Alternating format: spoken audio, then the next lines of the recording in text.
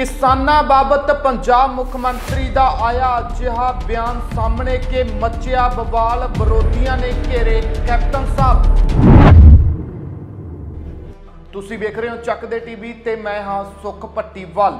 ਕਰੀਬ 9-10 ਮਹੀਨੇ ਤੋਂ ਦਿੱਲੀ ਦੀਆਂ ਸਰਹੱਦਾਂ ਤੇ ਕਿਸਾਨ ਅੰਦੋਲਨ ਲੜ ਰਹੇ ਨੇ ਤਾਂ ਦੂਜੇ ਪਾਸੇ ਪੰਜਾਬ ਦੇ ਵਿੱਚ ਵੀ ਆਪਣੇ ਆਪਣੇ ਸੂਬਿਆਂ ਦੇ ਵਿੱਚ ਕਿਸਾਨਾਂ ਦੇ ਵੱਲੋਂ ਧਰਨੇ ਪ੍ਰਦਰਸ਼ਨ ਕੀਤੇ ਜਾ ਰਹੇ ਨੇ, ਜਿਸ ਦੇ ਚੱਲਦਿਆਂ ਬੀਤੇ ਕੱਲ ਹਸ਼ਿਆਰਪੁਰ ਪਹੁੰਚੇ ਪੰਜਾਬ ਮੁੱਖ ਮੰਤਰੀ ਕੈਪਟਨ ਅਮਰਿੰਦਰ ਸਿੰਘ ਦਾ ਇੱਕ ਅਜਿਹਾ ਬਿਆਨ ਸਾਹਮਣੇ ਆਇਆ, ਜਿਸ ਨੇ ਹੁਣ ਇੱਕ ਜੋ ਕਹਿ ਸਕਦੇ ਹਾਂ ਕਿ ਇੱਕ ਘਮਾਸਾਨ ਮਚਾ ਦਿੱਤਾ ਹੈ। ਕੈਪਟਨ ਅਮਰਿੰਦਰ ਸਿੰਘ ਨੂੰ ਕਈ ਪ੍ਰਕਾਰ ਦੀਆਂ ਟਿੱਪਣੀਆਂ ਦਾ ਸਾਹਮਣਾ ਕਰਨਾ ਪੈ ਰਿਹਾ। ਕਿਸਾਨਾਂ ਤੋਂ ਲੈ ਕੇ ਵਿਰੋਧੀ ਖੇਮੇ ਤੱਕ ਸਰਗਰਮ ਹੋ ਗਏ ਨੇ। ਕੈਪਟਨ ਅਮਰਿੰਦਰ ਸਿੰਘ ਤੇ ਤਿੱਖੇ ਨਿਸ਼ਾਨੇ ਸਾਧੇ ਜਾ ਰਹੇ ਨੇ। ਤੁਹਾਨੂੰ ਦੱਸ ਦਈਏ ਕਿ ਹਸ਼ਿਆਰਪੁਰ ਕੱਲ ਪੰਜਾਬ ਮੁੱਖ ਮੰਤਰੀ ਕੈਪਟਨ ਅਮਰਿੰਦਰ ਸਿੰਘ ਪਹੁੰਚੇ ਸੀ ਤੇ ਉਹਨਾਂ ਨੇ ਬਿਆਨ ਦਿੱਤਾ ਸੀ ਕਿ ਪੰਜਾਬ ਦੇ ਵਿੱਚ ਵੀ ਕਾਫੀ ਥਾਵਾਂ ਤੇ ਜਿਹੜੇ ਕਿਸਾਨ ਬੈਠੇ ਨੇ, ਕਿਸਾਨਾਂ ਦਾ ਪ੍ਰਦਰਸ਼ਨ ਜਾਰੀ ਆ, ਪਰ ਉਹਦਾ ਫਾਇਦਾ ਕੋਈ ਨਹੀਂ।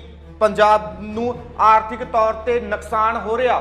ਦਿੱਲੀ, ਹਰਿਆਣਾ ਦੇ ਵਿੱਚ ਜੋ ਕਰ ਰਹੇ ਨੇ ਕਰਨ, ਪਰ ਪੰਜਾਬ ਦੇ ਵਿੱਚ ਕੋਈ ਫਾਇਦਾ ਨਹੀਂ।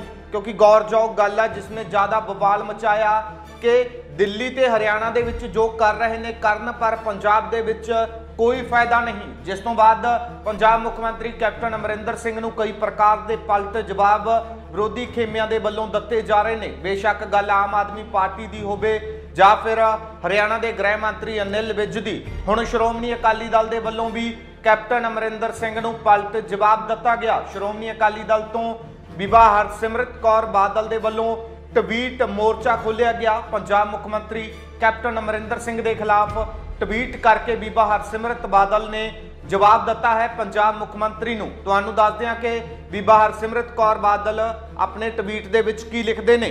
ਕੈਪਟਨ ਅਮਰਿੰਦਰ ਸਿੰਘ, ਤੁਸੀਂ ਕਿਸਾਨਾਂ ਨੂੰ ਕਹਿ ਰਹੇ ਹੋ ਕਿ ਉਹ ਆਪਣੀਆਂ ਲੜਾਈਆਂ ਦਿੱਲੀ ਜਾ ਕੇ ਲੜਨ। ਪੰਜਾਬ ਵਿੱਚ ਨਹੀਂ, ਕੈਪਟਨ ਸਾਹਿਬ। ਤੁਸੀਂ ਖੁਦ ਆਪਣੇ ਆਲੀਸ਼ਾਨ ਮਹਿਲ ਵਿੱਚ ਆਰਾਮ ਫਰਮਾਉਂਦੇ ਰਹੇ ਹੋ। ਜਦੋਂ ਕਿ ਮੀਂਹ, ਹਨੇਰੀ, ਗਰਮੀ, ਸਰਦੀ ਨਾਲ ਜੂਝ ਰਹੇ ਸਾਡੇ ਕਿਸਾਨ ਵੀਰਾਂ ਦਾ ਦਿੱਲੀ ਦੀਆਂ ਸੜਕਾਂ ਤੇ ਸੰਘਰਸ਼ ਪਿਛਲੇ 10 ਮਹੀਨੇ ਤੋਂ ਜਾਰੀ ਹੈ।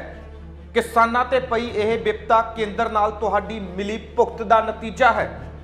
ਸਾਫ਼ ਤੌਰ ਤੇ ਹਰਸਿਮਰਤ ਕੌਰ ਬਾਦਲ ਕਹਿੰਦੇ ਨਜ਼ਰ ਆਏ ਨੇ ਕਿ ਕਿਸਾਨਾਂ ਤੇ ਜੋ ਇਹ ਵਿਪਤਾ ਪਈ ਆ, ਇਹ ਤੁਹਾਡੀ ਮਿਲੀ ਭੁਗਤ ਦਾ ਨਤੀਜਾ। ਕਿਉਂਕਿ ਦੇਖਿਆ ਜਾ ਰਿਹਾ ਕਿ ਸ਼ੁਰੂ ਤੋਂ ਹੀ ਜਿੱਥੇ ਖਾਸ ਕਰਕੇ ਕਾਂਗਰਸ ਦੇ ਵੱਲੋਂ ਨਿਸ਼ਾਨਾ ਸ਼੍ਰੋਮਣੀ ਅਕਾਲੀ ਦਲ ਨੂੰ ਬਣਾਇਆ ਜਾਂਦਾ, ਖੇਤੀ ਕਾਨੂੰਨਾਂ ਨੂੰ ਲੈ ਕੇ, ਤਾਂ ਉੱਥੇ ਹੀ ਸ਼੍ਰੋਮਣੀ ਅਕਾਲੀ ਦਲ ਕਾਂਗਰਸ ਨੂੰ ਨਿਸ਼ਾਨਾ ਬਣਾਉਂਦੀ ਆ, ਕੈਪਟਨ ਅਮਰਿੰਦਰ ਸਿੰਘ ਨੂੰ ਨਿਸ਼ਾਨਾ ਬਣਾਉਂਦੀ ਆ। ਤੇ ਹੁਣ ਪੰਜਾਬ ਮੁੱਖ ਮੰਤਰੀ ਕੈਪਟਨ ਅਮਰਿੰਦਰ ਸਿੰਘ ਦੇ ਬਿਆਨ ਤੇ ਇੱਕ ਬਵਾਲ, ਸਿਆਸੀ ਬਵਾਲ ਮੱਚ ਚੁੱਕਿਆ। ਕੈਪਟਨ ਅਮਰਿੰਦਰ ਸਿੰਘ ਦੀ ਸ਼ਬਦੀ ਘੇਰਾਬੰਦੀ ਆ, ਜੋ ਵਿਰੋਧੀ ਖੇਮਿਆਂ ਦੇ ਵੱਲੋਂ ਲਗਾਤਾਰ ਕੀਤੀ ਜਾ ਰਹੀ ਆ। ਤਾਜ਼ਾ ਅਪਡੇਟ ਲੈ ਕੇ ਫਿਰ ਹਾਜ਼ਰ ਹੋਵਾਂਗੇ। ਤੁਸੀਂ ਬਣੇ ਰਹੋ ਚੱਕ ਦੇ ਟੀਵੀ ਦੇ ਨਾਲ।